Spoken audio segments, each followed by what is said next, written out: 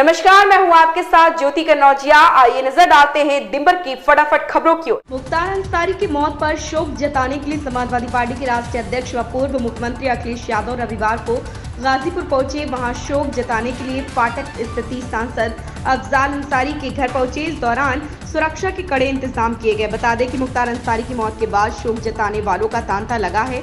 इसी क्रम में अखिलेश यादव भी रविवार को गाजीपुर पहुँचे हैं। वृंदावन के ठाकुर बाकी बिहारी मंदिर में तीसरे दिन रविवार को भी भक्तों का सैलाब उमड़ पड़ा। सुबह से ही 500 मीटर से अधिक लंबी श्रद्धालुओं की कतार लगी रही। मंदिर के पट बंद होने के बाद तक बाकी बिहारी मंदिर के आसपास गलियों में प्रमुख मार्गों पर श्रद्धालुओं के सिर पर ही सिर नज़र आए। भीषण गर्मी में भीड़ का दबाव और धक्का मुक्क के बीच सर्वाधिक परेशानी बुज़ुर्गों और महिला श्रद्धालुओं को हुई।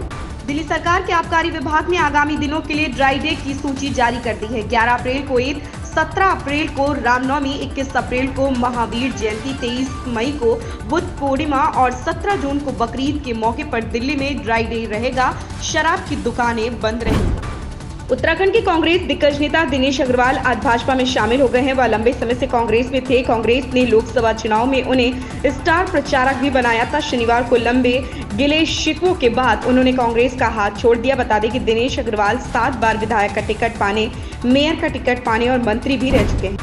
भ्रष्टाचार के खिलाफ आवाज़ उठाने वाली आम आदमी पार्टी के कट्टर, बेईमान मुख्यमंत्री अरविंद केजरीवाल लाखों करोड़ के शराब घोटाले में जेल में हैं। यह बात हमीरपुर संसदीय क्षेत्र से भाजपा के प्रत्याशी अनुराग सिंह ठाकुर ने विपक्ष पर केंद्र सरकार दबाव बनाकर राजनीति करने के सवाल पर कही। उन्होंने कहा कि इतना ही नहीं, बल्कि दिल्ली की सरकार के उप मुख्यमंत्री शिक्षा मंत्री, स्वास्थ्य मंत्री, शराब के लाखों करोड़ रुपए के घोटाले के मामले में संलिप्त पाए जाने की सूरत में जेल की सलाखों के पीछे है।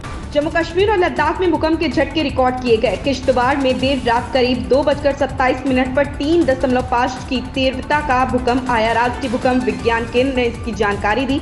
हालाँकि इससे किसी तरह के जानमाल के नुकसान की खबर नहीं है।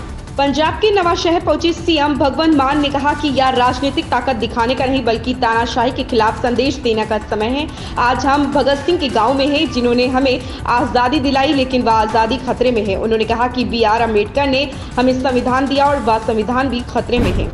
रोहतक में पूर्व मुख्यमंत्री मनोहर लाल का कहना है कि कांग्रेसी नेता लोकसभा चुनाव लड़ने से घबरा रहे चुनाव ना लड़ना पड़े, इसके लिए एक दूसरे की टांग खींची जा रही इसलिए अभी तक कांग्रेस प्रत्याशी घोषित नहीं हो सके। भाजपा तेरह अप्रैल तक 40 विधानसभा क्षेत्रों में जनसभाएँ करेंगी। वे रविवार को पार्टी के पुराने प्रदेश कार्यालय में मीडिया से बातचीत कर। रहे प्रदेश में भाजपा के प्रचार में पीएम नरेंद्र मोदी की तीन बार और राष्ट्रीय अध्यक्ष जेपी नड्डा और गृह मंत्री अमित शाह की एक एक चुनावी सभा हो चुकी है। इतना ही नहीं, अगले सात दिनों में मोदी योगी सहित भाजपा के सात से ज़्यादा बड़े नेताओं के दौरे तय हैं, जबकि कांग्रेस के राष्ट्रीय अध्यक्ष मल्लिकार्जुन खड़गे चित्तौड़गढ़ नामांकन रैली में आए। वहीं 6 अप्रैल को खड़गे समेत सोनिया गांधी और प्रियंका गांधी ने जयपुर में सभा कर चुनावी शंखनाद किया। प्रधानमंत्री नरेंद्र मोदी शनिवार को नवादा में भारतीय जनता पार्टी के प्रत्याशी विवेक ठाकुर के समर्थन में जनसभा करने पहुँचे। पीएम मोदी से पहले बिहार के मुख्यमंत्री नीतीश कुमार ने अपनी बातें रखी। उन्होंने बिहार सरकार और केंद्र सरकार की योजनाओं के लाभ को याद कराया। इस बीच मुख्यमंत्री नीतीश कुमार की ज़ुबान भी एक बार फिर फिसली।